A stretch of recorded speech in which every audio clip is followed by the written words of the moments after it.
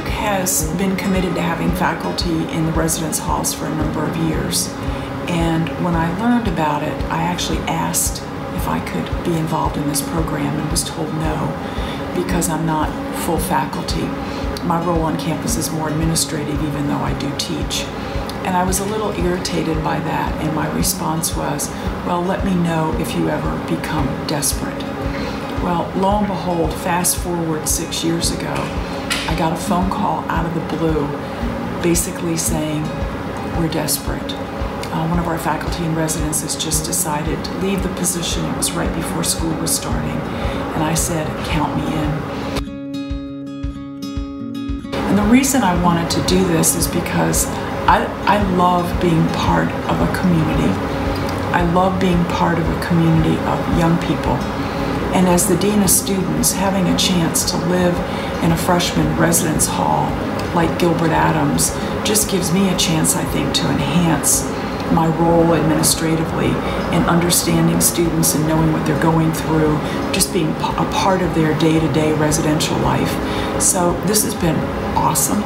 It's been probably the best thing I've done at Duke in the 45 years that I've been here. And um, this is year number six. I don't know how many more years I will be allowed to do it, uh, but right now I hope I get to do it for a number of years into the foreseeable future. Challenging part for me, and I don't know how other faculty and residents feel about this, but when I get back home every day, um, there's a part of me that wants to keep my door open. I want to be available and accessible to students. I want to be as engaged as I possibly can. And it's just not possible to always be available, and yet I, I want to be. So for me, the challenge is leaving my door open as much as I can and inviting students in as often as I possibly can. So I try to have a little bit of time every day when I'm available.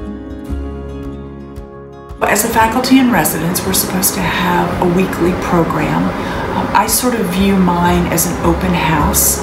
Um, I try to have really good snacks really good food every week. I bake brownies every week. I think I've baked something like 267 batches of brownies since I've moved into GA, so I bake a lot of brownies.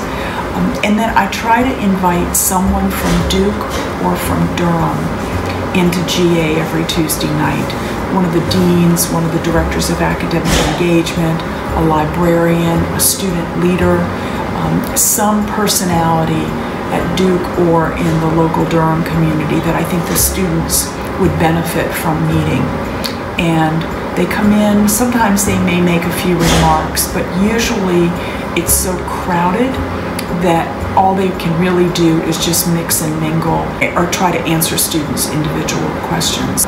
And everybody's invited. I have students who don't live in GA who come, and I have a number of GA alums who come every Tuesday night just to say hello, and I think they're really here for the snacks. I would say today, for whatever reason, my word of advice to students is to really do all that they can do to be compassionate towards themselves.